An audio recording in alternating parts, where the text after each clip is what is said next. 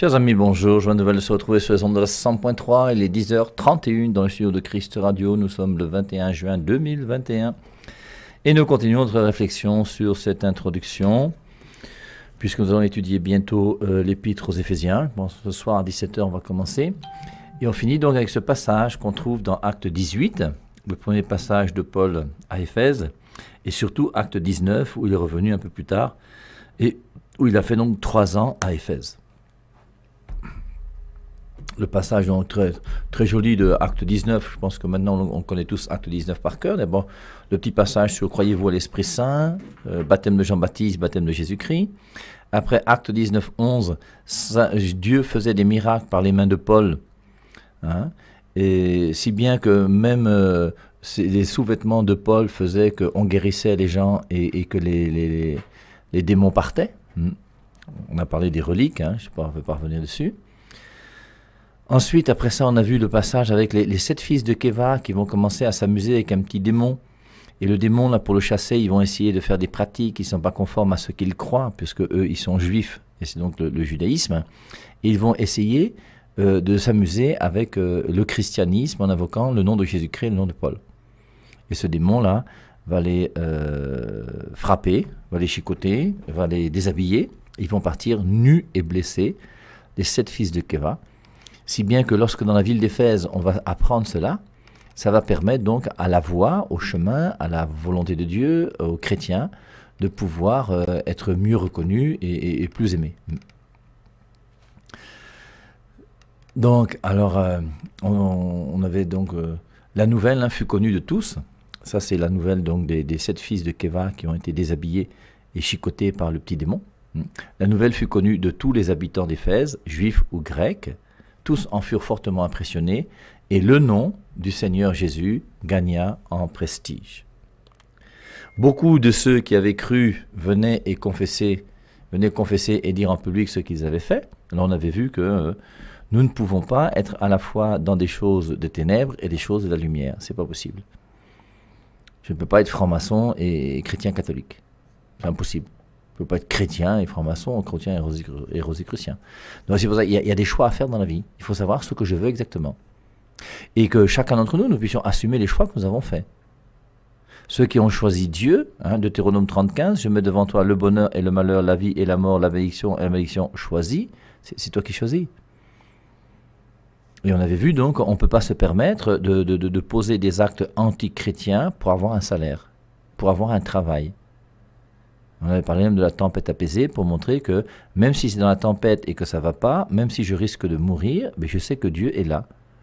S'il se réveille et qu'il dit silence, tais-toi, la mer va s'arrêter, le vent va s'arrêter, silence, tais-toi, tout sera calme. Bon, s'il se réveille pas et que je meurs, c'est pas grave, je serai pas le premier à mourir, je serai pas le dernier non plus. Mais la seule chose importante, c'est que je fasse la volonté de Dieu. C'est pour ça que la seule chose grave pour nous sur terre, c'est le péché. En dehors du péché, rien n'est grave. C'est pas grave que, qu'un homme perde une femme, que, des parents enterre un enfant. Comprenez bien ce que je veux dire. C'est, pas, pas agréable pour des enfants, pour des parents d'enterrer un enfant. Mais au sens strict, c'est pas grave. Ce qui est grave, c'est le péché. Et le péché tue ma vie divine. Le fait d'enterrer euh, son frère, sa sœur, son mari, sa femme, ce qui arrivera à chacun d'entre nous. ça fait de la peine, on est tous d'accord, c'est douloureux, bien sûr. Mais c'est pas grave. La seule chose grave, c'est le péché. En dehors du péché, rien n'est grave. Donc, et c'est pour ça que je ne peux pas me permettre de commettre le plus petit péché, même si c'est pour un plus grand bien. Nous devons avoir une horreur du péché. Et une horreur du péché qui soit euh, de plus en plus grande. Hmm. Euh, quand on parle de péché mignon, c'est qu'au bout d'un moment, on a l'impression que chacun d'entre nous, on se donne des raisons pour justifier euh, les petits péchés que nous commettons. Je ne pense pas que ce soit l'enseignement de Paul ni celui de Jésus-Christ. Et on verra dans l'épître aux, Éphésiens, il y a un petit passage qui me vient en tête comme ça, là, c'est Éphésiens chapitre 4, que je n'ai pas relu depuis longtemps d'ailleurs, où, il y, a, des, petites choses très simples, où il est dit, euh, euh, c'est pourquoi rejeter le mensonge? Et il faut qu'on se pose la question, est-ce que, est -ce que nous tous, là, nous avons rejeté le mensonge? Moi, je vous dis, j'ai arrêté de mentir en 1987. Depuis, non, 1979, pardon. Depuis 1979, je ne mens plus. C'est pourquoi rejetez le mensonge et que chacun de vous parle avec vérité à son prochain. Est-ce qu'on parle avec vérité? Car nous sommes membres les uns des autres. Si vous vous mettez en colère, ne péchez pas. Que le soleil ne se couche pas sur votre irritation. Ne donnez pas accès au diable. Que celui qui dérobait ne dérobe plus.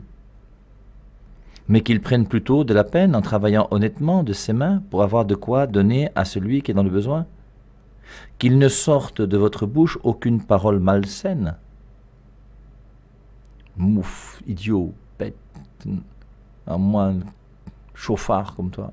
On s'insulte tous les jours qu'il ne sorte de votre bouche aucune parole malsaine, mais s'il y a lieu, quelques bonnes paroles qui servent à l'édification nécessaire et communiquent une grâce à ceux qui l'entendent. N'attristez pas le Saint-Esprit. Et on voit tous ces conseils qui sont donnés, et, Saint Paul donnera beaucoup de conseils comme cela. Donc, que, nous cherchions vraiment euh, dans notre vie à, faire ce que Dieu veut que nous fassions, et non pas... Euh, à pouvoir continuer à faire des pratiques qui ne sont pas conformes à l'évangile de Jésus-Christ, à la parole de Dieu. Hein, on avait vu, un certain nombre de ceux qui avaient pratiqué la magie apportèrent leurs livres et les brûlèrent. Hmm. Donc ensuite, c'était, c'est là où on était arrivé, l'émeute d'Éphèse. À Éphèse, donc il y a une, fausse déesse, une idole, qu'on appelle Artémis, qui est très connue. Hein.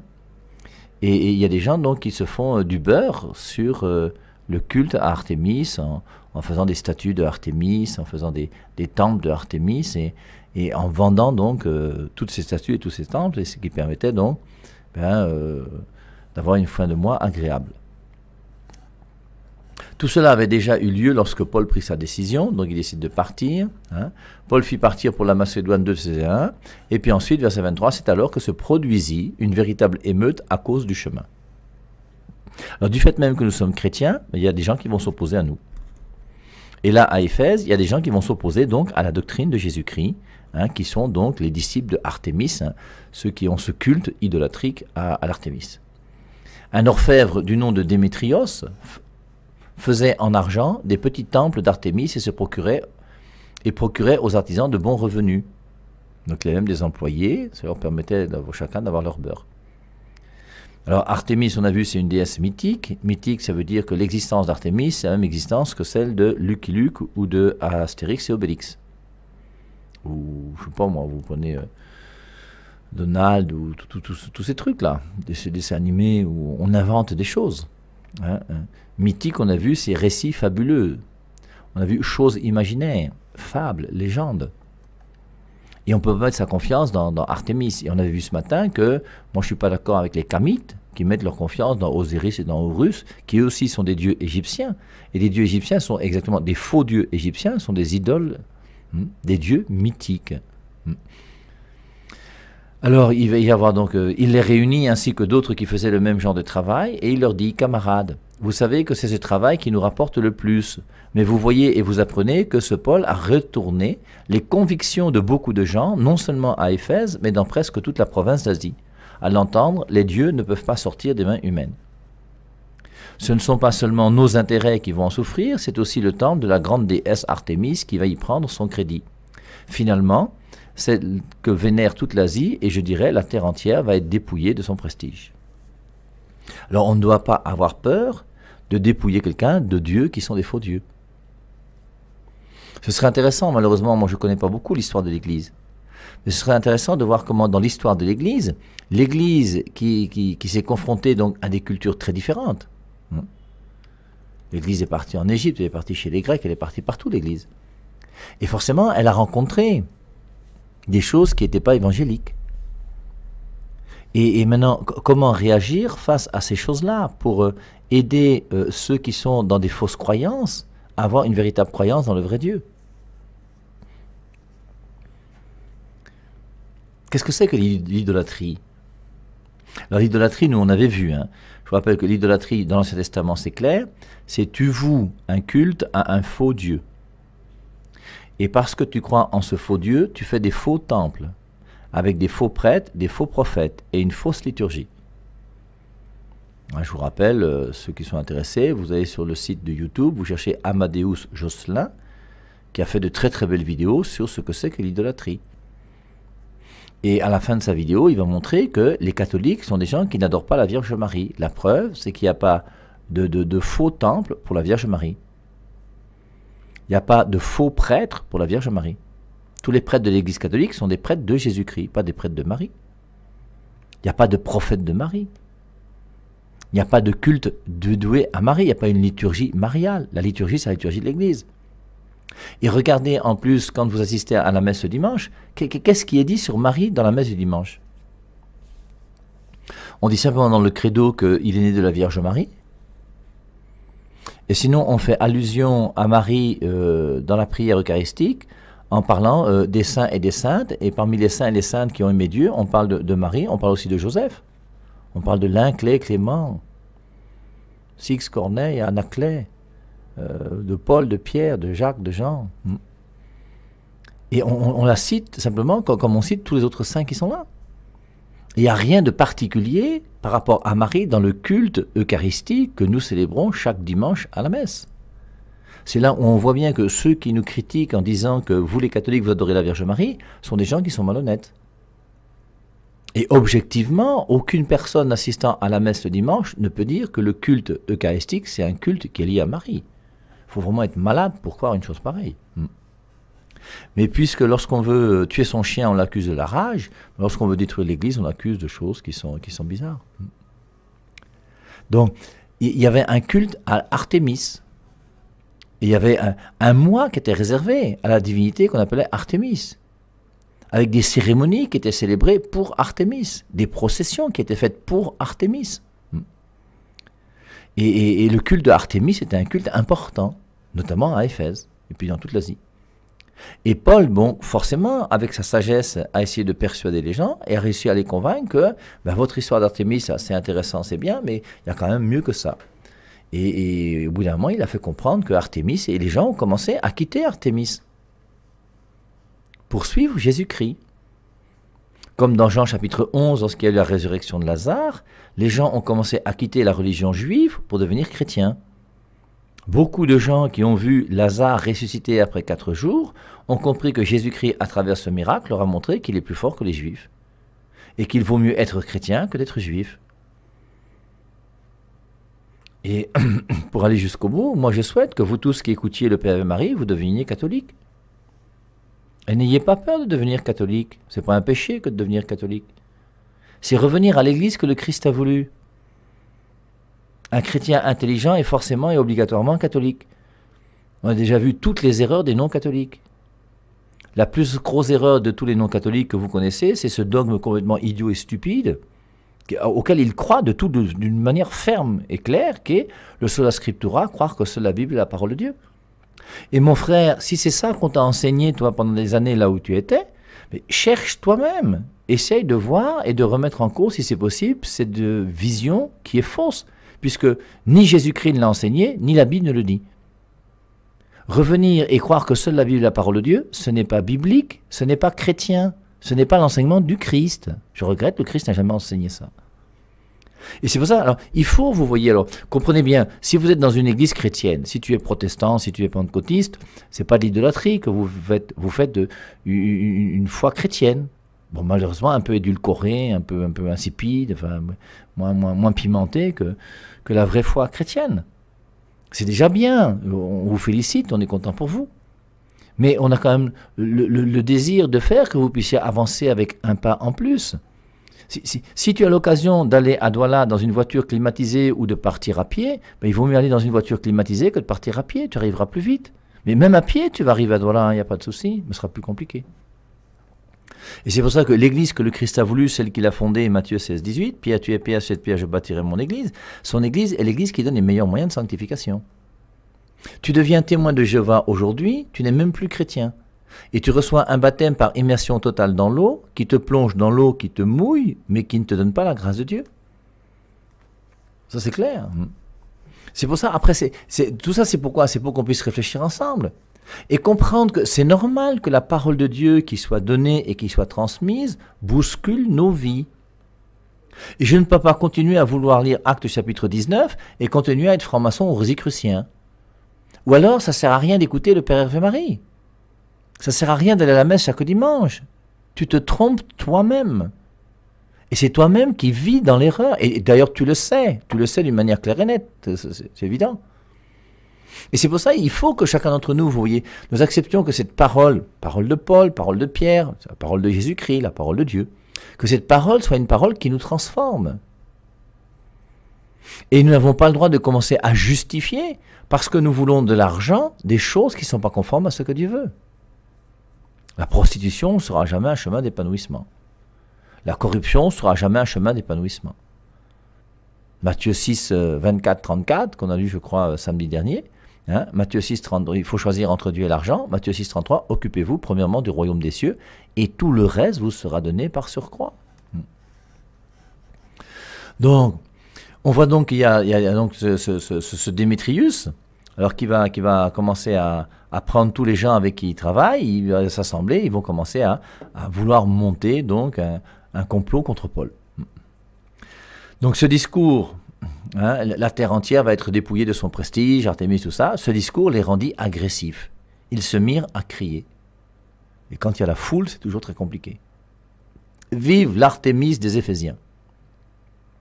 Et ce fut une confusion totale dans la ville. Ils se précipitèrent tous vers le théâtre, entraînant avec eux Gaius et Aristarque, deux Macédoniens qui voyageaient avec Paul. Paul voulait affronter l'assemblée du peuple, mais les disciples ne le laissèrent pas y aller. Alors certains disent que Paul était déjà, avait déjà quitté un petit peu Éphèse, hein, d'autres disaient qu'il était quand même à Éphèse. Hein. En tout cas, toujours est-il que Paul voulait affronter l'assemblée du peuple. On comprend, Paul c'est un homme zélé, lui n'a pas peur. Hein, je rappelle qu'il a quand même été lapidé une fois, hein. il a failli mourir. Les gens pensaient même qu'il était mort. C'est ses disciples qui l'ont récupéré et qui ont réussi à lui redonner un petit peu de santé. Hmm. Donc il, a, quand même souffert beaucoup à cause de Jésus-Christ. Il n'a pas peur de défendre la cause du Christ. Il n'a pas peur de mourir à cause du Christ. il est prêt à défendre sa cause. Paul voulait affronter l'assemblée du peuple. Donc il voulait aller au théâtre là-bas et pouvoir se justifier. Mais les disciples ne le laissèrent pas y aller. Donc ces disciples qui étaient autour de lui sentaient que c'était quand même trop chaud, qu'il y avait une telle haine, hein, les, gens étaient agressifs, ils se mirent à crier, il y a plus beaucoup, il y a beaucoup de passion, donc forcément ça peut être très compliqué. Quelques notables de la province d'Asie, il y a même des, gens d'Asie, des notables, donc des gens qui sont bien assis, qui sont notables, qui étaient ses amis, lui firent passer l'avis de ne pas se risquer au théâtre. Ne va pas au théâtre. L'ambiance là-bas est trop chaude. D'ailleurs, on ne savait plus ce que criaient les uns ou les autres. L'assemblée n'était qu'un désordre et la plupart ne savaient même pas pourquoi ils étaient là. et c'est vrai que quand, la foule marche, quelquefois, au bout d'un moment, la foule, là, on n'arrive plus à la contenir. Et c'est un petit peu ce qui se passe ici dans ce théâtre. Et, donc, euh, pour un oui ou pour un non, on risque de, de, de Paul. C'est pour ça qu'on l'a protégé et on l'a empêché d'aller dans ce théâtre pour justifier hein, ses positions face à, à, Démétrios. À ce moment, on fit sortir de la foule un certain Alexandre, que les Juifs poussaient vers la tribune. Il voulait les mettre hors de cause devant la multitude et fit signe de la main. Mais quand on sut qu'il était juif, ce ne fut qu'une clameur dans toute l'assemblée. Et ils restèrent à crier durant près de deux heures grande est l'Artémis des Éphésiens. Alors, quand, quand il y a la passion, au bout d'un moment, il faut savoir se taire, rester tranquille et rentrer chez soi. Hein, on ne peut pas essayer de convertir des gens qui ne veulent pas être convertis. Et, donc voici comment, se passe euh, cette émeute qui se passe dans la ville d'Éphèse à cause donc de notre ami euh, Paul qui a critiqué euh, l'Artémis. Et forcément, ça fait de la peine. Quand tu dis à, des Kamites qui insistent beaucoup sur la culture et sur la coutume que euh, revenir à Osiris ou à Horus, c'est pas ce qu'il y a de plus intelligent, je, crois que c'est objectif. Après maintenant, très bien, ça ne veut pas dire que la coutume et la culture ne servent à rien, non. Mais une chose qui est sûre, c'est que la coutume ou la culture est relative à celui qui est le créateur de tout. Et une culture ou une coutume qui va contre l'évangile de Jésus-Christ est pour nous, en tant que chrétiens, une culture qui n'est pas bonne. Et c'est pour ça que l'évangile va, corriger beaucoup de cultures et beaucoup de coutumes à travers le monde entier, pas seulement ici au Cameroun. Même chose en Chine, aux États-Unis, avec les, même les, Français. Nous, notre culture, c'est la culture bretonne. Ben oui, l'Évangile est venu apporter quelque chose que nous n'avions pas. Et on a, quand on accepte l'Évangile, ben on accepte que l'Évangile puisse éduquer même notre culture ou nos coutumes. Le secrétaire de la ville parvint à calmer la foule. Il leur dit Éphésiens, y a-t-il une seule personne pour ignorer que la ville d'Éphèse garde le temple de la grande Artémis et sa statue tombée du ciel? C'est là on apprend que sa statue est tombée du ciel. Vous voyez, c'est complètement mythique. Hmm. Qui peut croire qu'une statue peut tomber du ciel hmm. Personne ne peut dire le contraire. Il vous faut donc retrouver votre calme et ne rien faire par emportement. Voilà quelqu'un qui est sage et qui essaie de calmer la foule. Vous amenez là des hommes qui n'ont pas profané le temple ni insulté notre déesse. Il est objectif, il dit ce qui est. Si Démétrios et ses artisans ont à se plaindre de quelqu'un, qu'ils le traduisent en justice. Il y a des audiences et des magistrats. La vindicte populaire n'est pas la solution. Et si le problème va plus loin, on devra le résoudre dans l'assemblée régulière. Donc c'est le secrétaire de la ville qui veut mettre un peu d'ordre dans la ville parce qu'il s'aperçoit que ça ne va pas bien. Vous rendez-vous compte qu'on pourrait nous accuser de sédition pour l'affaire d'aujourd'hui? Nous n'aurions aucun argument à présenter pour justifier ce désordre. Ceci dit, il renvoya l'Assemblée. Et donc voilà comment finit Acte 19, hein. notre petit passage où on voit comment euh, Saint Paul eh bien, euh, dans son évangélisation, va être persécuté. Et il ne faut pas avoir peur si nous, en tant que chrétiens, nous sommes persécutés parce que nous enseignons l'évangile de Jésus-Christ. Alors maintenant, moi je me souviens aussi, un jour, il y a très très longtemps, je discutais avec des témoins de Jéhovah qui disaient que vraiment, euh, nous, nous sommes des, bons chrétiens parce qu'il est dit dans Matthieu chapitre 5, hein, après les sept béatitudes Hein, Matthieu chapitre 5, verset 1 à 11. Il y a sept béatitudes qui dépendent de nous, et il y a une béatitude qui est l'autre, qui a l'habitude des persécutés. Heureux êtes-vous si vous êtes persécutés. Et ils disent, regarde comment nous sommes persécutés, on nous met en prison, on fait ci et ça, etc., etc. Mais il y a des gens qui sont persécutés parce qu'ils se comportent mal. Quand tu refuses de saluer le drapeau, quand tu refuses de, chanter l'hymne national, alors la seule chose qu'on peut leur leur, accepter dans, l'hymne national, c'est que l'hymne national camerounais, moi je ne veux pas faire de peine à qui que ce soit, mais est un hymne qui, quelque part, faut dire, l'hymne français n'est pas très beau non plus. Hein. Allons enfants de la patrie, et que le sang des machins, tout ça dans les sillons, c'est très violent, c'est très violent comme hymne. Ce serait bien qu'on change l'hymne français. Mais ce serait bien aussi qu'on change l'hymne camerounais. Terre chérie, ma patrie, tu es notre seul et vrai bonheur. Et forcément, en tant que chrétien, nous comprenons que le Cameroun n'est pas notre seul et vrai bonheur. Notre seul et vrai bonheur, c'est Dieu. Bon, maintenant, il faut comprendre simplement que lorsqu'on a écrit l'hymne camerounais, l'hymne camerounais ne s'oppose pas à Dieu. Mais on, a voulu mettre la patrie en haut, et c'est pour ça qu'il y, y, a cette phrase qui, malheureusement, au niveau strict du langage, est, discutable. Le Cameroun n'est pas notre terre chérie, ma patrie, tu es notre seul et vrai bonheur. Et notre seul et vrai bonheur, c'est Dieu. Le plus grand bonheur de l'homme sur terre, c'est d'aimer. Même si la patrie aussi est très importante. Et c'est important d'être patriotique. Moi, je suis toujours émerveillé quand on voit le, Cameroun qui joue et tout le monde qui sort avec son, drapeau camerounais. Ce qui se passe aussi, semble-t-il, aux États-Unis, très facilement. En France, tu verras jamais ça. Les Français, ils sont bizarres. Hmm. Et, donc, mais, tout ça pour revenir aux témoins de Jéhovah, les témoins de Jéhovah qui refusent de chanter l'hymne national, ben, c'est normal qu'ils soient punis. Tu demandes à une classe, dans un lycée ou collège, tu demandes au chef de classe d'entonner l'hymne, il dit je ne peux pas parce que je suis témoin de Jéhovah. Qu'est-ce que on te punit, c'est normal. Tu désobéis à la loi. Maintenant, tu, refuses de faire une transfusion sanguine à quelqu'un qui meurt, mais tu es complice de crime. Et si on te met en prison pour ça, mais c'est normal. Et c'est pour ça qu'au au bout d'un moment, vous voyez, il y a des gens qui se retrouvent en prison parce qu'ils sont voleurs, ils sont bandits. Et, et ce n'est pas à cause de Jésus-Christ. Et, c'est pour ça, donc, quand je suis réellement chrétien et vraiment chrétien, il faut que je n'ai pas peur de pouvoir dire la vérité de l'évangile de Jésus-Christ. Et en disant cette vérité de l'évangile de Jésus-Christ, forcément, il y aura des oppositions.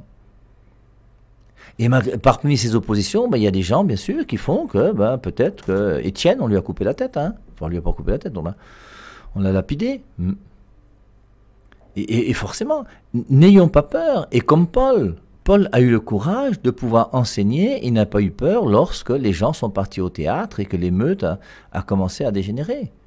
Alors, ne cherchons pas non plus à faire des émeutes et, à agresser les gens. Moi, personnellement, je ne comprends pas que euh, quelqu'un puisse, dans un lieu public, prendre sa sono et commencer à dire qu'il euh, faut être chrétien, il faut être chrétien dans les marchés tu, agresses les gens gratuitement alors que tu n'as pas autorité pour pouvoir faire du bruit dans ce marché. Moi, je trouve que c'est pas normal. Comme toutes ces, ces, maisons dans lesquelles on, fait du bruit euh, le soir, après normalement ben, l'heure où tout le monde devrait savoir que les enfants dorment et on devrait rester tranquille que ce soit les, bars qui font beaucoup de bruit, ou que ce soit alors les, nouvelles églises dans lesquelles on prie toute la nuit en, criant et en chantant je sais pas quoi. Et, tout ça, c'est un respect qu'on doit avoir. C'est ça la charité. Et c'est là où on va reconnaître ceux qui sont réellement chrétiens et ceux qui ne sont pas chrétiens. Et, tout en étant chrétien, ben oui, forcément, on sera persécuté. On ne peut pas ne pas être persécuté, c'est impossible. Mais n'ayons pas peur. Et soyons capables de dénoncer avec beaucoup d'amour, beaucoup de, bonté. Euh, j'ai jamais dit que moi je vais couper la tête d'un kamite ou d'un témoin de Jéhovah ou de qui. Jamais, ça n'a pas de sens. Les musulmans, ils font ça. C'est pour ça que les musulmans, ils sont quand même dangereux, au moins les djihadistes. Mais, mais sinon, soyons capables même de dire aux djihadistes que ce sont des gens qui n'ont pas Dieu. Un djihadiste ne croit pas en Dieu, ce sont des histoires. Aucun Dieu. Et si Allah est le Dieu qui demande de tuer les gens, c'est que Allah n'est pas le vrai Dieu. Il faut, mettre les choses au clair. C'est pas possible autrement. Dans la sourate 8 du Coran, où on dit que c'est pas vous qui les avez tués, c'est Allah qui les a tués, ça veut bien dire quelque chose. Et si Allah commence à tuer les gens, est-ce que Allah est encore Dieu? Voilà la question qu'il faut se poser. Parce que Dieu ne tue pas les gens. Et c'est pour ça que cette sourate 8, euh, elle est quand même importante et il faut que nos frères musulmans nous disent comment est-ce que nous devons comprendre cette sourate. Et qu'ils nous montrent que cette sourate vient et est inspirée par Dieu. Si cette sourate est inspirée par Dieu en disant que euh, euh, c'est pas vous qui les avez tués, c'est moi qui les ai tués, bah, vous comprenez qu'au bout d'un moment, c'est pour ça que moi je vous dis que mon Dieu à moi, c'est pas le Dieu des musulmans. Le Dieu des musulmans et mon Dieu n'est pas le même. Moi, mon Dieu, c'est Jésus-Christ, qui lave les pieds des gens et qui leur dit aimez-vous les uns les autres comme je vous ai aimé. Il leur dit quand on te tape sur la joue droite, tends la joue gauche. Et c'est pour ça qu'au bout d'un moment, il ne faut pas faire d'amalgame. Et il faut qu'on soit capable ben, de savoir exactement où se trouve la vérité, quelle est la vérité qu'il faut annoncer au nom de notre Dieu. Hmm. Alors, les, cultes idolatriques dans lesquels on voit, vous voyez, des faux dieux avec des faux temples et des fausses liturgies, c'est vrai que quelque part, si on regarde autour de nous, il n'y en a pas beaucoup. C'est très rare, hein alors, peut-être on dira, alors moi je connais pas très bien la franc-maçonnerie la Rose-Croix, mais si on dit qu'il y a des messes noires et puis qu'on boit du sang humain, tout, tout ça, forcément, c'est clair que ce sont des fausses liturgies et ça c'est grave. Hmm. Mais sinon, alors ce qui est intéressant quand même, c'est de dire Saint Paul. Alors lisons un petit passage de l'Épître aux Éphésiens, hein, avant d'attaquer l'Épître aux Éphésiens ce soir à 17h. Je suis dans Éphésiens chapitre 5, verset 2. Quant à la fornication, à l'impureté sous toutes ses formes, ou encore à la cupidité, que leur nom ne soit même pas prononcé parmi vous. C'est ce qui est sied à des saints. De même pour les grossièretés, les inepties, les facéties, tout cela ne convient guère. Faites entendre plutôt des actions de grâce. Car sachez-le bien, ni le fornicateur, ni le débauché, ni le cupide qui est un idolâtre n'ont droit à l'héritage dans le royaume du Christ et de Dieu. Et c'est intéressant de voir que dans l'Épître aux Éphésiens, quand il ajoute le cupide, le cupide, il doit penser, je pense, à Démétrios, qui aimait beaucoup l'argent et qui, à cause de l'argent, voulait défendre l'Artémis. Et donc c'est pour ça que sa cupidité l'a conduit à l'idolâtrie. Et à cause de son amour de l'argent, il refuse la vérité du vrai Dieu et continue à servir un faux Dieu. Car, sachez-le bien, ni le fornicateur, ni le débauché, ni le cupide, qui est un idolâtre, n'ont droit à l'héritage dans le royaume de Dieu et du Christ. Et verset 6, que nul ne vous abuse par de vaines raisons, ce sont bien de tels désordres qui attirent la colère de Dieu sur ceux qui, lui résistent. Oh, ce serait intéressant, vous voyez, de réfléchir. Que nul ne vous abuse par de vaines raisons. Je suis un homme. C'est normal que de temps en temps je puisse me soulager. C'est, voilà, euh, je suis camerounais, c'est normal que j'ai un deuxième bureau. Toutes les raisons qu'on aura pour justifier. Hein. Que nul ne vous abuse par de vaines raisons. Il y a plus de femmes que d'hommes sur terre. C'est pour ça que je suis polygame. Voici les vaines raisons qu'on donne. Ce sont bien de tels désordres qui attirent la colère de Dieu sur ceux qui lui résistent. N'ayez donc rien de commun avec eux. Jadis vous étiez ténèbres, mais à présent vous êtes lumière dans le Seigneur.